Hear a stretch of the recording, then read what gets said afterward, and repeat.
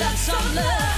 Attention, a little care, and you can have a lot of love. It is my own composition, my lyrics. There, there was a good friend of mine, Viktoras, who helped me arranging the song. That's why it became this, what you heard tonight, and that's why it's been chosen to go to Copenhagen. The song is about the girls that shouldn't be bought; they should be left and taken care of. but I just don't believe so. I'm gonna make you, make you fall down to the down, down on your knees. We just need to someone to take care of us and respect and show love.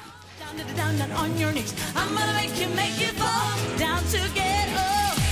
Attention, a little care, and you can have a love, love, love, love, some love. What was the first your idea? What was the first thought when you heard that Vilija?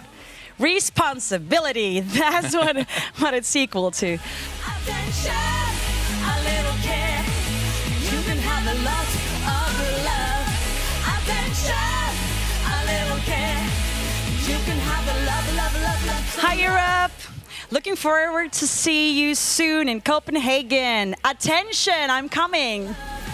Attention,